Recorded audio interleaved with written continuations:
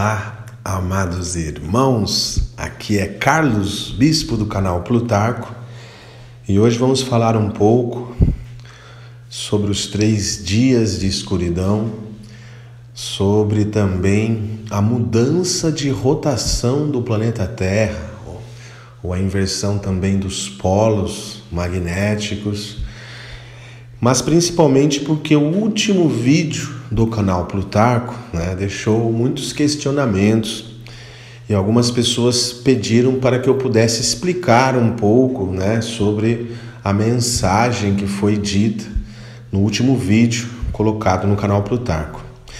No final deste vídeo eu vou colocar um pequeno texto que fala sobre este acontecimento. E antes aqui eu venho dizer, queridos irmãos, que existem sim profecias, inclusive bíblicas, e também científicas, comprovações científicas do que está acontecendo em nosso planeta neste momento. Vamos começar com alguns pontos. Três dias de escuridão são algumas profecias que até né, santos e santas já relataram, não só também como Ramatiz fala, entre outros irmãos superiores, falam desses três dias de escuridão. Muitos relataram, escreveram essas profecias. Pesquise no Google, vocês vão ver quantas pessoas falaram sobre isso, esses dias de trevas, né? Há também a questão do momento que nós estamos vivendo, né? Biblicamente falando, seria o Apocalipse, seria, seria a grande revelação, certo? Não é fim do mundo, mas a mudança para um mundo melhor, né? O fim deste mundo de dualidade para um mundo de unidade. Na linguagem espiritual, né? na, na linguagem mais é, da espiritualidade, se fala transição planetária. Então, também requer algo cósmico, certo? E também podemos falar a ascensão, né? a ascensão dimensional, a ascensão de consciência. Mas vamos lá, queridos irmãos, nós sabemos que tudo é possível no mundo de Deus. Inclusive, cientificamente, muitas coisas estão sendo descobertas atualmente. Até, até teorias que antes não eram provadas, como a teoria, teorias de Einstein, por exemplo, ou de outros, que eram teorias e hoje está se comprovando. Agora, queridos irmãos, vamos falar a seguinte questão. Nós sabemos que os polos magnéticos estão mudando do planeta Terra e mudam de tempos em tempos. Só que os cientistas eles fazem cálculos e mesmo esses cálculos que eles acham que podem estar corretos caem por terra frequentemente. Tanto que a mudança de polos do planeta Terra era esperada daqui muito tempo. E agora a, essa mudança repentina e mais rápida assustam os cientistas. Então, os cientistas estão boquiabertos com tudo o que está acontecendo e com as falhas dos seus cálculos de previsões que já não são mais as mesmas. Bom, vamos pegar essa questão da rotação da Terra, do eixo do planeta Terra, inversão dos polos do planeta Terra. Sabemos historicamente, não só por estar na Bíblia, mas outros povos relataram o mesmo tema. Outros povos relataram que houve uma grande inundação, né? Seria naquela época da Arca de Noé. Então, o dilúvio de Noé, que é como é lembrado, aconteceu uma grande mudança nos polos do planeta Terra e com certeza houve um dilúvio. Inclusive, os seres superiores avisaram Noé e Noé tentou avisar a população, mas muitos não ouviram. E com isso, como também é descrito, os animais, ou pelo menos de certa forma os DNAs dos animais, ou propriamente os animais, muito da mãe natureza, foi, foram protegidos nessa época para continuar a vida na Terra, né? Então hoje está ocorrendo a mesma questão, porque o dilúvio de Noé aconteceu por volta de 12 mil anos atrás, 10 a 12 mil anos atrás certo? E agora volta a começar a ocorrer novamente.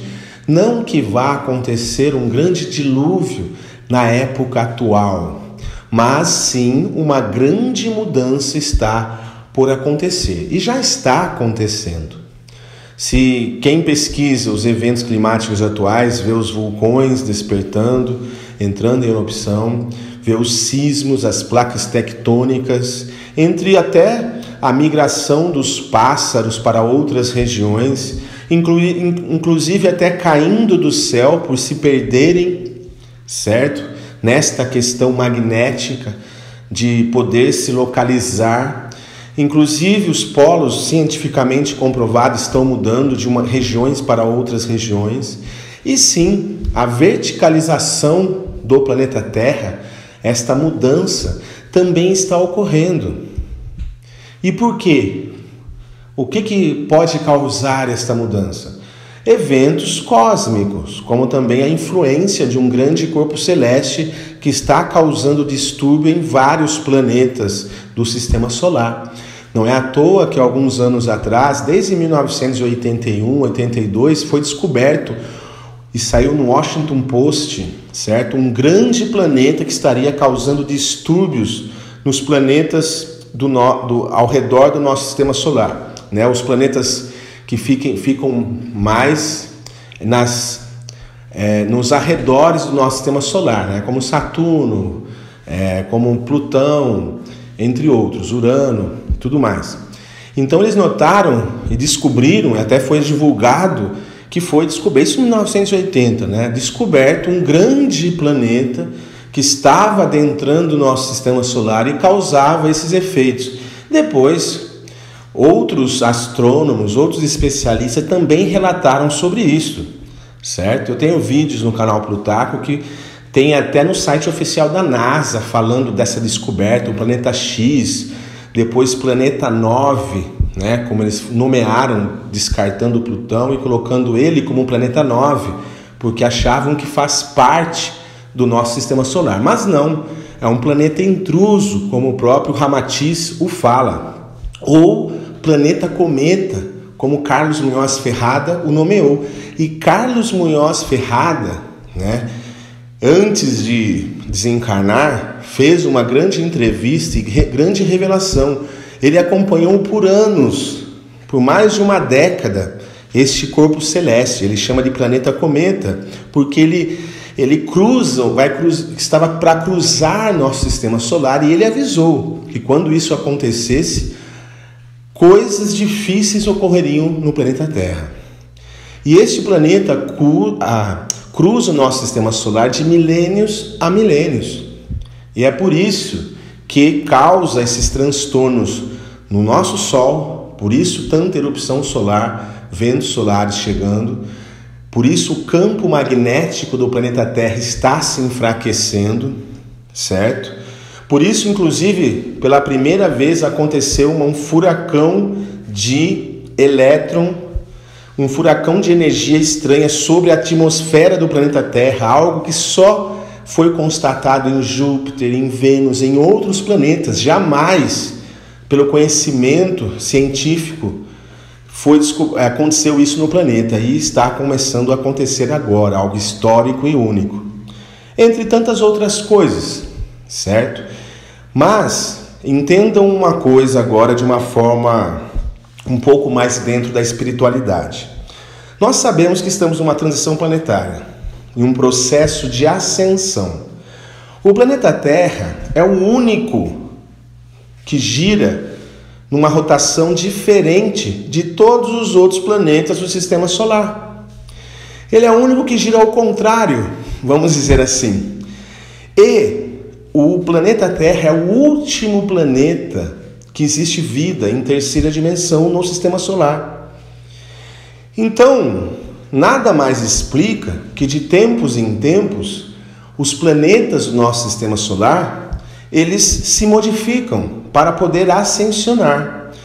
Então, nós sabemos que os planetas, os outros planetas, como Marte, vamos pegar exemplo, já teve vida na superfície.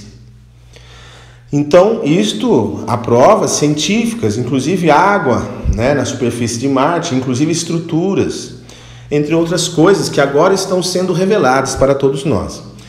Então, já houve vida de terceira dimensão em Marte. Na última passagem de Nibiru, esta vida foi extinta. Existem remanescentes marcianos no subterrâneo de Marte, certo? Tridimensional ou quadridimensional. Mas não existe vida hoje na superfície. E é o que está acontecendo agora no planeta Terra. Nós deixaremos de estar com vida em terceira dimensão na superfície para ascendermos para a quinta dimensão. E isso requer uma mudança, tanto no eixo do planeta Terra, quanto na rotação do planeta Terra, que entrará no fluxo do nosso sistema solar correto. E assim, neste momento, estaremos sim em quinta dimensão. E tudo isso faz parte de um plano cósmico divino, querendo nós acreditarmos ou não.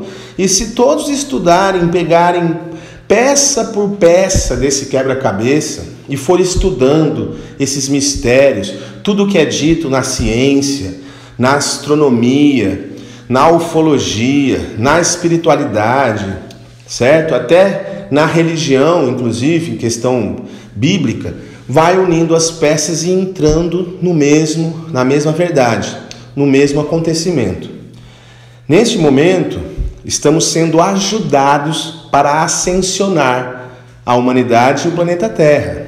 Por isso, a mensagem diz que naves irão amenizar este evento. E se você for ver, será que isso já aconteceu antes? Sim, há uma passagem bíblica que Josué fala sobre a questão do sol parar no céu por quase um dia inteiro. Vai lá buscar Josué, é, o sol ou a terra parou. Coloca no Google, vocês vão encontrar uma pequena passagem. Depois devem ter outras ali que, que vocês podem buscar também. Então, vamos pegar alguns pontos chaves. Já houve um dilúvio em outrora.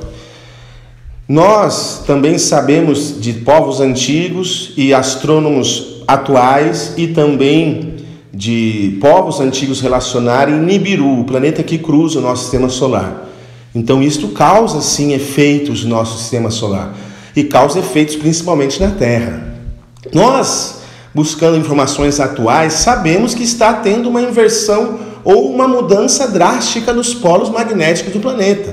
Isso também é algo comprovado, algo que está ocorrendo. Claro que eles não falam tudo, certo? Eles não falam tudo, mas algumas notícias nós podemos resgatar. Também há mensagens dos nossos irmãos superiores que estão relatando o que está acontecendo, estão relatando sobre também os três dias de escuridão. E nessa mensagem que eu vou passar aqui no final, ou se você, se eu não passar, veja o último vídeo do canal Plutarco, tá? Porque se esse vídeo ficar muito grande, é só ir no último vídeo do canal Plutarco, depois da mensagem de Metatron, do arcanjo Metatron, vai estar essa mensagem dos irmãos galácticos falando que as naves cobrirão o Sol por três dias, três grandes naves maiores que o planeta Terra. Então imaginem, muitas pessoas até se preocupam, ah, mas o que isso pode ocorrer conosco? Se eles estão avisando que isso vai acontecer e estão também afirmando que vão nos proteger, nós temos que ficar tranquilos. Não é uma mensagem para causar medo, é uma mensagem para dizer: ó, vai acontecer. Se você pega a mensagem deles e mensagem de todos os outros, até das profecias bíblicas e tudo mais, você vai saber que isto vai ocorrer de uma forma ou de outra. O tempo só nosso Pai Criador sabe, mas eles estão afirmando que pode ser muito breve.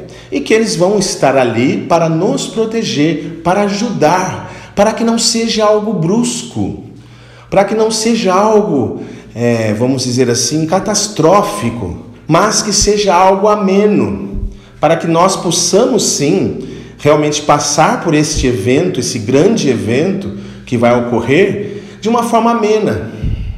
E também um aviso é dado por eles, que nós devemos estar em uma frequência mais alta, porque é isso que nos manterá vivos aqui no planeta Terra, é isto que nos fará ascensionar com corpos físicos para a quinta dimensão. E sim, lembrem-se, estão descobrindo, eu vou fazer vídeos proximamente, estão descobrindo que há um sol dentro do planeta Terra, algo que a espiritualidade já sabia há muito tempo. Nós já falamos sobre isso. Então, há um núcleo no planeta Terra, que é um sol, e há povos viventes dentro do planeta Terra, os intraterrenos.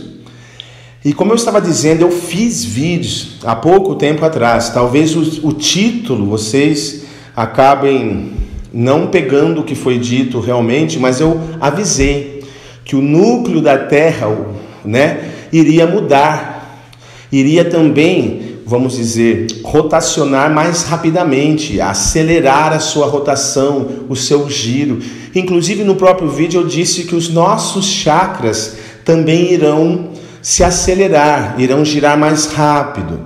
E eu falei dos três dias de escuridão como essa questão de nós ficarmos, vamos dizer, é, em três dias, podermos ficar é, em, em, sono, em, em sono profundo para os seres superiores de luz alinhar nossos chakras e nossos chakras também mudar a sua rotação.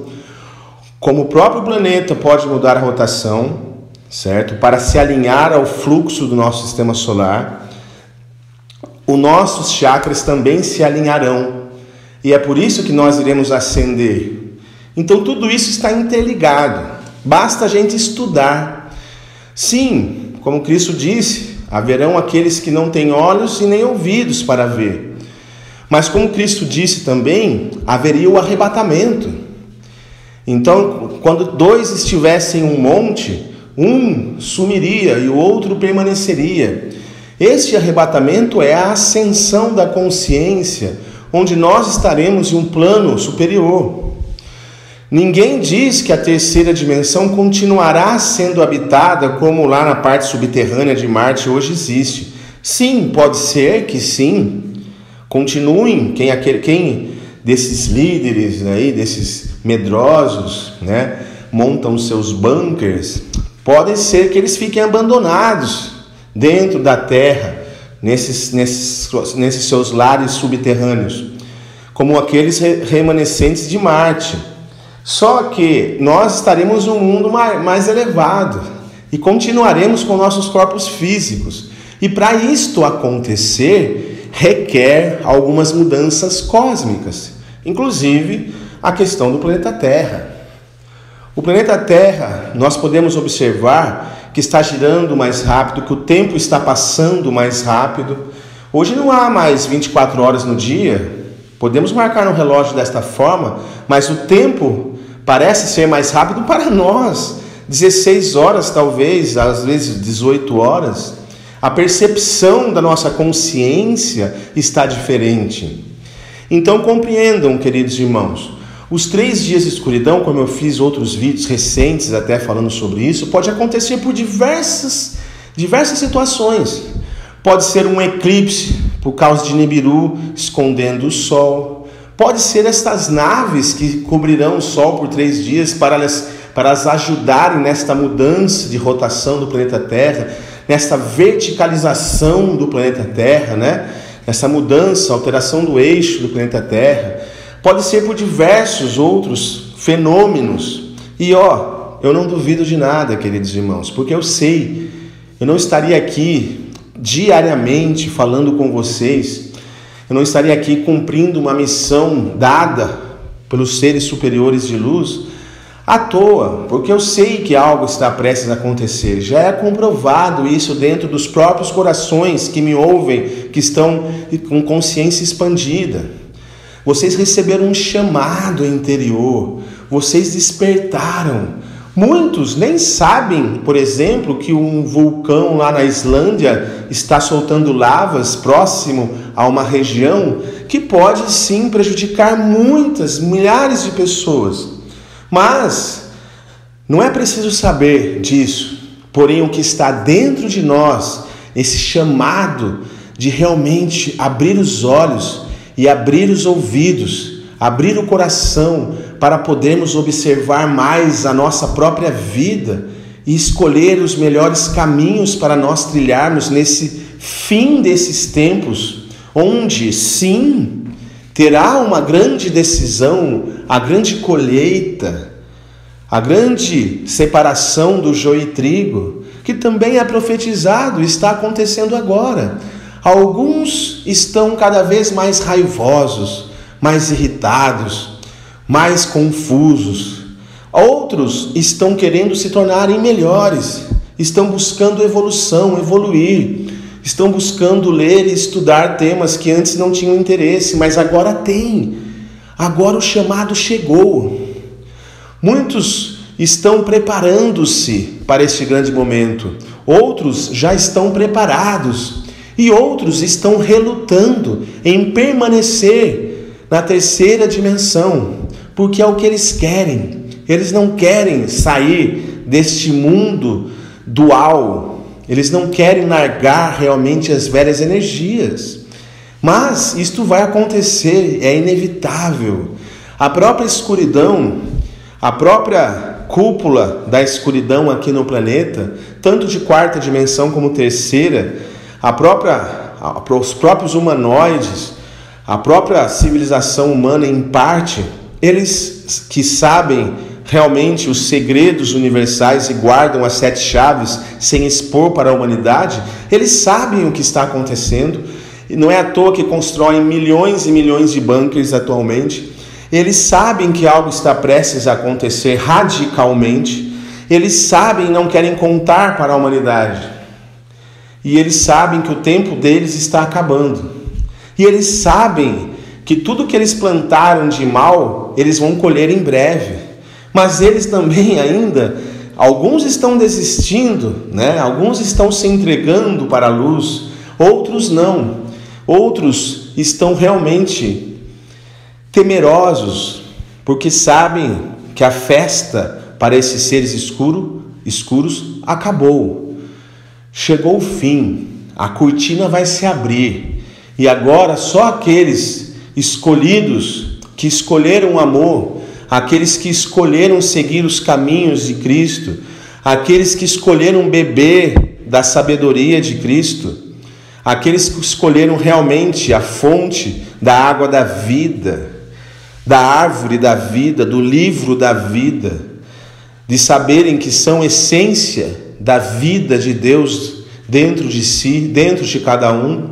São pontos luminosos, sim, que brilham, brilham e são vistos cada vez mais em maior claritude para os olhos superiores. Aqueles que realmente estão amando a si mesmo, estão amando os seus irmãos como se fossem vocês mesmos, eles estarão neste mundo melhor. E, ele, e será tudo claro, quando isto acontecer. Mas, aviso, cada um de vocês, tudo pode acontecer a qualquer momento. Os avisos estão aí, os sinais estão aí, tanto nos céus, tanto na terra estão acontecendo. Os sinais dentro de você mesmo estão acontecendo. E mesmo aqueles relutantes que não querem enxergar e querem zombar como zombaram de Cristo quando ele estava para ser crucificado, quando zombaram de Cristo, inclusive quando ele estava na cruz, aqueles sempre serão zombeteiros. E é por isso que eles sempre, pelo menos até um certo tempo, estarão nos mundos inferiores, estarão sofrendo, e mesmo que seja aqui na terceira dimensão, não conseguirão ser felizes mas o Pai é benevolente e misericordioso, tem muita paciência E mesmo se eles quiserem continuar nessa, neste mundo de escuridão e de amargura interior, serão levados para outras regiões sombrias para continuar suas experiências e as escolas para que um dia se formem. Mas aqueles, aqueles que se enternecem o coração, aqueles que olham e oram pelo Pai Criador, o olhar para ti mesmo, em o que pode melhorar, no que pode evoluir, no que pode fazer para ajudar o próximo, no que pode fazer para ajudar a si mesmo. E sim, sente a transformação acontecendo dentro de si. Sim, com provações e desafios, dificuldades, mas está ali, galgando o terreno do paraíso, galgando o terreno da morada do Pai Criador, galgando estar elevando o seu espírito, galgando estar em harmonia com o fluxo divino, sim, estará sempre protegido, estará sempre amparado e estará pronto para este grande momento que está prestes a acontecer. Com as bênçãos do meu irmão maior Cristo a todos vocês, as bênçãos dos nossos mestres ascensos, arcanjos e anjos, Maria, Astar, nossos irmãos galácticos que desejam a vocês muito amor, muita luz, muita fé e esperança e confiança que eles estão aqui e estão protegendo todos vocês que querem ser protegidos, que querem realmente se elevar e prosperar neste momento que está de grande transformação em todo o nosso planeta Terra e principalmente no universo interior de cada um. É isso. E assim é. Amo vocês, muitas bênçãos e até a próxima. Vitória da Luz.